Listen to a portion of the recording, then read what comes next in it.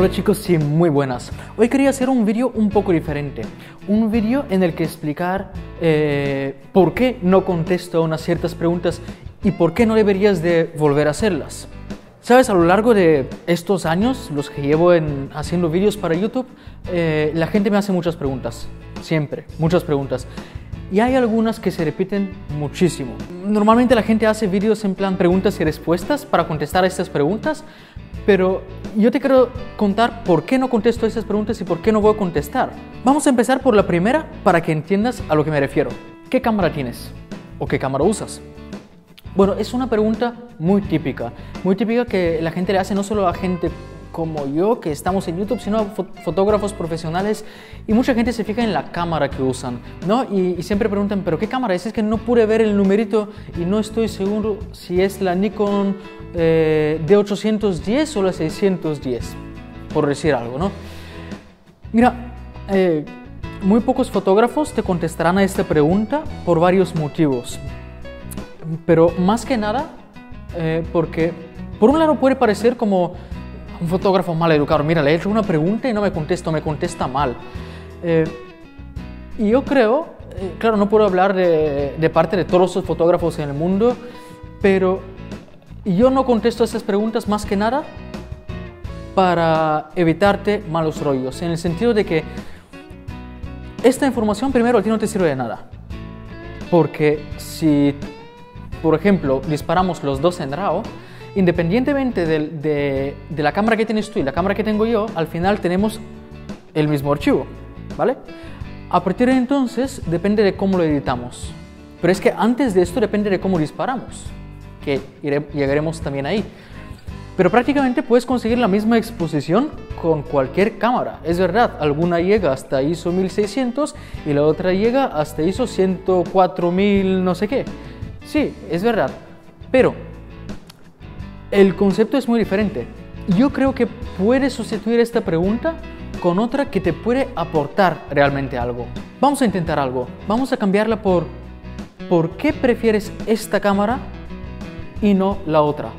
¿O por qué has escogido esta cámara en vez de cualquier otra del mercado? Ahora, esta pregunta te puede aportar algo. Yo te puedo decir porque para mí, eh, digamos que me he comprado una 7D eh, Mark II. Y, te puedo, y me puedes decir, vale, pero ¿por qué no has comprado una 6D que tiene eh, full frame, que tiene un sensor completo y te has comprado una 7D Mark II?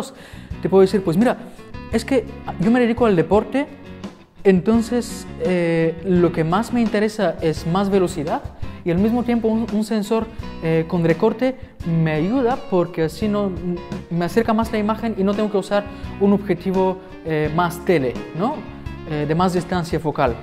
Ahora, esta respuesta te da unos motivos reales de por qué esta cámara. Volviendo a la pregunta original, ¿qué cámara tienes? La respuesta de esta cámara lo que te puede aportar es lo siguiente. Vale, imagínate que te digo, yo tengo una 1DX. ¿Qué te aporta esto? Primero, te dice que es mentira. Te dice, eh, bueno, yo tengo una 1DX, tú tienes una 550D, por lo cual jamás podrás hacer fotos como las mías. Y claro, eso se te queda en tu mente y tú piensas que la única forma de hacer mejores fotos es cambiar de cámara, lo que es mentira. Segundo, lo que pasa es que tú preguntas qué cámara tiene él y automáticamente descartas la posibilidad de que tu cámara, la cámara que actualmente tienes, puede ser mejor que la suya en tu caso. ¿Ok? Esto es importante saberlo. Porque si a ti te gusta hacer fotos de baloncesto y tienes eh, una 5D Mark II o Mark III, sí es una cámara de sensor completo, y como características es mejor que la, que la 7D clásica, por ejemplo. Sí, vale, es mucho mejor. Pero ¿tiene esta velocidad? Mm, no. ¿Tiene esta rapidez de enfoque? Mm, igual no. Entonces, ¿es mejor que la tuya? No. Puede costar más, puede estar en, en una gama más alta, puede ser más nueva, pero no es mejor que la tuya. Por lo cual, la pregunta correcta en este caso sería, ¿por qué prefieres esta cámara en vez de la otra? Vamos a la siguiente pregunta. Ahora, esta me encanta. Eh, es una pregunta a la que contesto muchas veces, pero simplemente porque me es más fácil contestar que explicar por qué no te quiero contestar. ¿Qué ajustes has usado en esta toma? Bien, primero, ¿por qué esta pregunta no tiene sentido? Mira, ahora mismo este vídeo se está grabando eh, con un una velocidad de obturación de un cincuentavo del segundo, diafragma 5.6 e ISO 640, ¿vale? Y puedes decir, ¡ay, qué vídeo más chulo! Vale, tú te pones a grabar un vídeo, pones esos ajustes y el vídeo te puede salir muchísimo más oscuro o muchísimo más claro. Igual lo que crea el look de este vídeo que más te impacta depende del objetivo, igual depende de la luz que uso, pero tú no me has preguntado de la luz que uso, tú me preguntas de los ajustes que usado en la cámara. ¿Ok? O no me has preguntado cómo he expuesto, no me has preguntado cómo he editado la foto o por qué he usado estos ajustes, me has preguntado qué ajustes uso. Entonces lo que va a pasar es que tú te creas dentro de ti un falso sentido de seguridad de que, ajá, él trabaja así, pues la próxima vez voy a grabar vídeo con estos ajustes. Y te aseguro, no que puede que no te salga igual de bien, no, yo te aseguro de que no va a salir bien, porque los ajustes se deciden en el momento según la situación. ¿Qué pasa? Pues que ahora si me haces una foto con unos ciertos ajustes, si yo cambio una luz un poquito, automáticamente estos ajustes ya son incorrectos. Si damos la vuelta a la cámara y yo me pongo al otro lado, son totalmente diferentes. Si vamos a exteriores, son diferentes. Si es media hora más tarde hacer la foto, los ajustes ya son totalmente diferentes. Si pasa un avión eh, un poquito más grande, pues igual puede influir a la luz, ¿sabes? O una nube. Ya los ajustes cambian.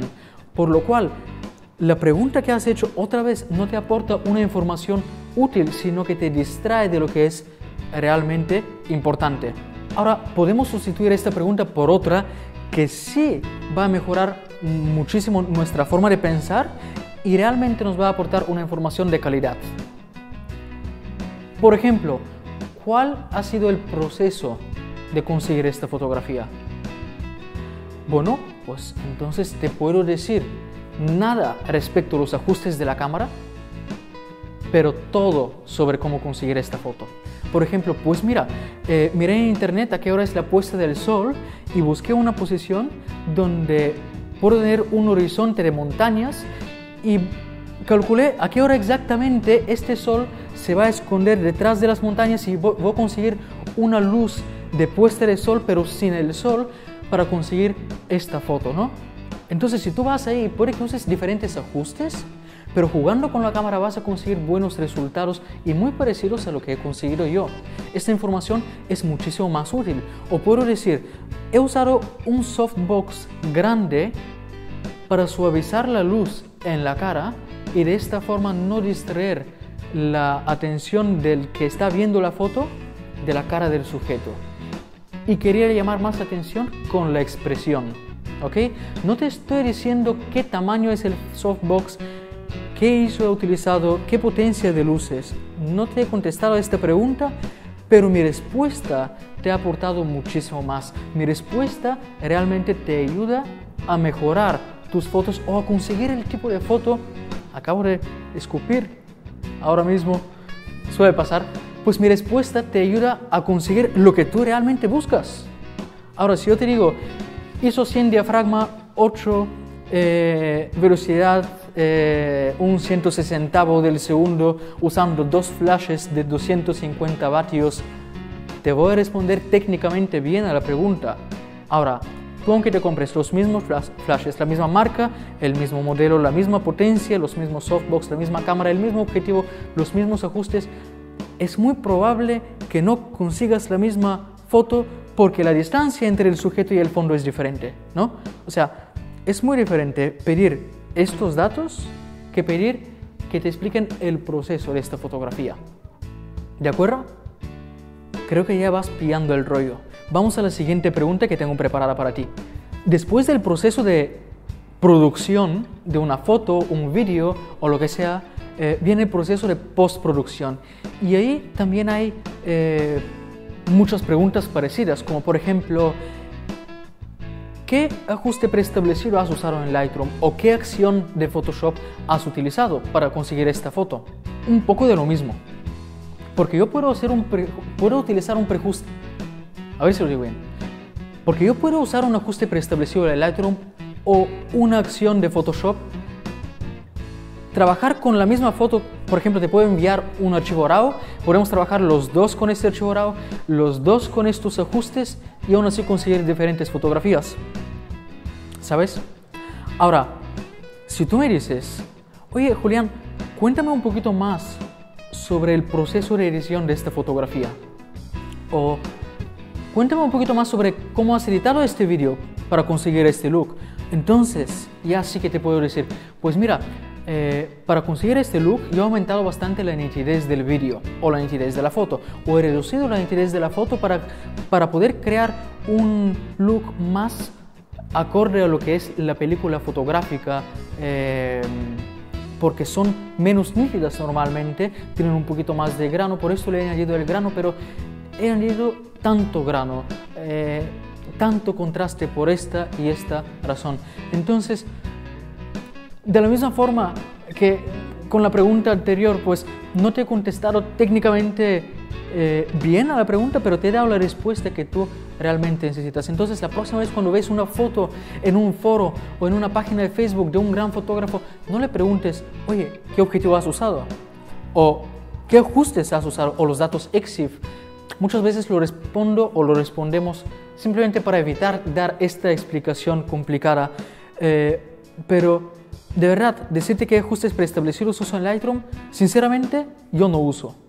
O si uso, perdona, miento, uso, pero son míos. O sea, yo hago una sesión de fotos con estas luces en este estudio, con la cámara X, y creo mi ajuste preestablecido. Cojo la primera foto, la trabajo y sincronizo todas. Entonces luego paso por cada una de ellas y la cambio un poquito según el look que quiero crear. Pero en la siguiente sesión yo sigo teniendo el mismo ajuste porque me sirve, ¿no? Y yo, si te lo paso, no va a funcionar con tu setup, con tu montaje de estudio. Eso es muy importante saberlo. Entonces, empieza a preguntar, ¿cómo has conseguido que el sujeto llame tanto la atención? ¿Cómo has pensado a la hora de editar esta fotografía? Ahora, esta pregunta es muy diferente. Vamos a ver la última pregunta que tengo preparada hoy. Son preguntas de tipo, Julián, ¿qué es eh, el diafragma? O Julián, ¿cómo se usa el diafragma? O aún peor, hay mucha gente que empieza sus mensajes como, Julián, gracias por lo que haces. He visto todos los vídeos que has subido en YouTube, pero quería preguntarte eh, cómo hacer una foto de larga exposición. Entonces, yo he hecho dos o tres vídeos sobre esto y tú me dices que has visto todos los vídeos que tengo subidos, y me preguntas, ¿me, ¿quieres que yo te lo explique a ti personalmente? Esto es un poco como una pequeña ofensa porque es como decir, mira, yo no me voy a esforzar para poner las palabras claves en el buscador de tu canal. Sin embargo, te voy a escribir un mensaje para que tú te tomes el tiempo de explicármelo a mí, de la misma forma que espero que te tomes el tiempo para explicárselo a las siguientes 500 personas que te van a hacer la misma pregunta. Entonces, vamos a hablar de forma muy clara. Eh, primero, busca la información básica. Cuando encuentres la información básica, si hay algún aspecto que no entiendes, como por ejemplo, ¿por qué con un diafragma más abierto perdemos nitidez de la foto, en la foto? ¿O por qué cuando cerramos el diafragma de todo, la foto se supone que tiene que ser más nítida, pero es un pelín menos nítida que, por ejemplo, en F8? Ahora, esta es una pregunta que se hace una persona después de haber buscado información, después de haber hecho unas pruebas y merece la pena contestar a esta pregunta y contesto esta pregunta y los demás contestarán a esta pregunta si saben y si no saben lógicamente que no. Pero a lo que te voy es que si tú no te tomas el tiempo de investigar, si tú no te tomas el tiempo de entrar en el canal, no en el mío concretamente, pero también en el mío, porque si ves este vídeo, supongo que formas parte de mi canal de YouTube, por lo que muchísimas gracias. Pero hay un buscador y tú ahí puedes escribir las palabras claves, por ejemplo, Lightroom o ajustes preestablecidos o objetivos, estabilizador de imagen. Hay un vídeo en el que solamente te explico cómo funciona el estabilizador de imagen de un objetivo. ¿Vale? Tengo subidos casi 500 vídeos y, y si uno no se toma el tiempo de hacer esta búsqueda, muy probablemente no yo, sino nadie le va a dar una respuesta. Lo más importante es buscar la información que puedes encontrar fácilmente, probar, experimentar y si hay algo que no entiendes, si hay algo que no consigues, cuando haces la pregunta, cuando la persona se da cuenta de que mm, lo ha buscado, pero mira, al no entender este pequeño detalle no le ha funcionado, pues tengo ganas de ayudarle, tengo ganas de contestarle bien y de darle los detalles porque veo que se ha esforzado para conseguir algo, pero no le ha salido bien, porque se ha perdido un pequeño detalle. Me encantaría poder ayudarle. Y con esto no te quiero decir solamente cómo pienso yo, sino cómo piensa la mayoría de la gente que recibe un montón de mensajes, preguntas y correos electrónicos a diario. ¿Cómo piensa una persona así y cómo una persona así puede ayudarte? No es cuestión de mandarle un mensaje, sino de hacerle una pregunta relevante. ¿De acuerdo? Espero haberte ayudado con estos consejos y, y espero poder transmitir esta forma de pensar que diferencia una persona que puede llegar al éxito y otra persona que, bueno, está ahí intentando hacer algo, pero que muy probablemente no llegará a ningún lado porque la forma de pensar es inadecuada. No puedes basarte en qué cámara uso para decidir si tú puedes llegar lejos o no puedes llegar lejos. Es más, te puedo decir algo. Eh, ahora ya que ha pasado este, mm, esta fase, te puedo contar esta anécdota. Hace un tiempo me robaron la cámara. Me robaron la cámara y la cámara era pues la cámara que tenía. Entonces me quedé sin cámara. Lógicamente me puse triste y tal. Y dije, me sentí como, como, que, como que eres un programador y te cortan las manos. O sea, ¿cómo vas a trabajar sin cámara? Pero tenía otra cámara, tenía una 40D. Y durante varios meses yo estaba utilizando esta 40D. Y bueno, pues cuando necesitaba eh, hacer un trabajo serio, pues siempre había algún amigo que me prestaba su cámara. Y después ya me compré otra cámara que no esperaba comprarme tan pronto, una cámara de, un, de gama bastante más alta, de la que hablaremos más adelante, pero no esperaba comprarme esta cámara, pero he conseguido comprarla. El, el tema es que al no tener esta cámara tan buena, cuando tenía una cámara, digamos, mediocre, porque muchos dicen que una 60D es mediocre, Ahora, ¿me impedía esto hacer buenas fotos? Creo que no. Cuando me quedé sin esta cámara, en vez de subir a una cámara mejor, bajé a dos modelos más, más atrás, a una 40D. ¿Me impedía esto hacer buenas fotos? No. Es más, hice unas fotos de paisaje impresionantes que no me lo esperaba de esta cámara. Solo 10 megapíxeles, solo 10 megapíxeles son suficientes. Dices que no, no, pero es que los, profesionales siempre decís eso. No, yo llegué a utilizar esta cámara porque no tenía otra. Por lo cual, si tú tienes una Nikon D610 y yo estaba utilizando una Canon 40D y tú consigues peores resultados, ¿será por la cámara? Yo creo que no. Piensa en estos aspectos de la fotografía, en estos aspectos de, del aprendizaje, porque hago este vídeo con el único fin de ayudarte, de motivarte y de orientarte a la hora de hacer preguntas y a la hora de aprender, a la hora de pensar y, buscar información. Espero que este vídeo haya sido útil.